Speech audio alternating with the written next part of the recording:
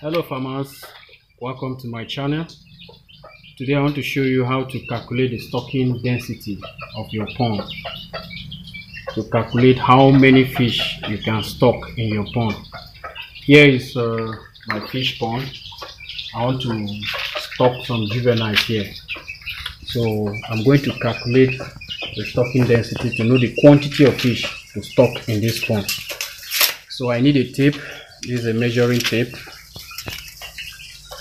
then I will take the length and the width of the pond. The length is the longest side of the pond and the width is the shortest side of the pond. So follow me. This is my tape. So I'm going to measure it.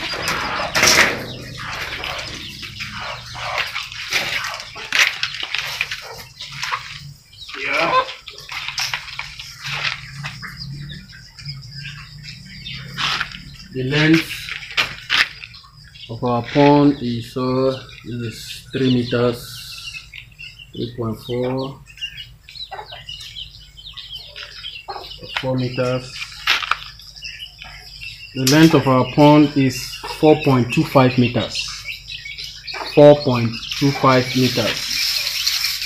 We are going to take the width. The length remember is 4.2 meters 4.25 meters.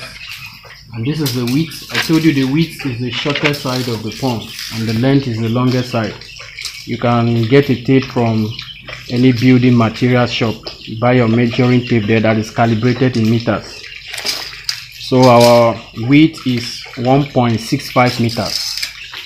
Length is 4.25 meters. And width is 1.65 meters so I'm going to show you how to calculate. Yeah.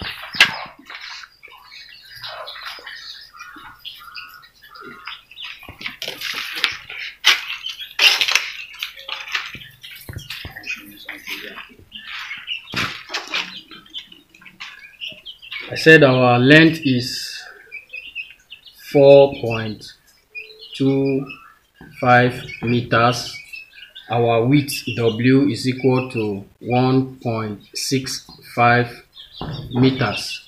Now to know the stocking capacity of this pond, I'm going to calculate the area of the pond. Area is equal to length times width. Length times width will give us the area of the pond everything is in meters.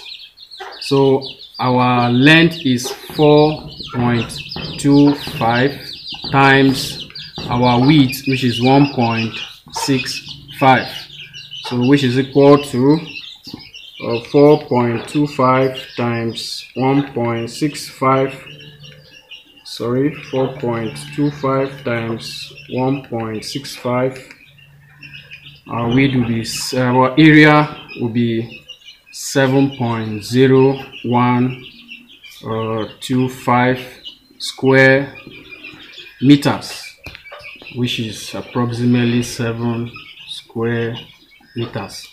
So this is the area of our pond. For us to know the stocking capacity of our pond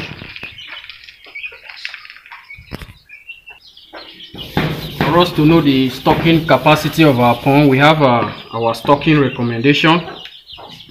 Uh, if they are fingerlings or juveniles, we recommend that it should be 62, 60 to 62 uh, fish or fingerlings. Let's say fingerlings per square meters. Then from 250 gram to 1 kg you use 50 fish per square meters. So we said uh, the area of our pond is 7 meters. So I want to stock uh, juveniles. So how many juveniles can I stock here? I'll take this one.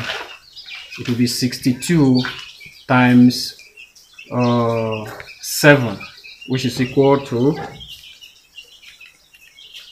62 times 7 is 4, 3, 4, fish or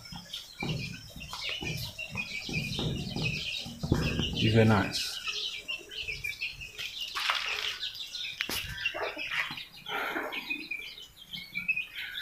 So we have uh, 434 juveniles uh, that I can stock in this pond. But I want to rear them to 1 kg. So I'm going to use 50 fish per square meter, which is this one, this one here. So 50 per square meter, 50 times uh, 7. Remember the area of our pond is 7 square meter which is equal to uh, 50 times um, 50 times 7 give us 300 350 350 fish or uh, juveniles since I'm stocking juveniles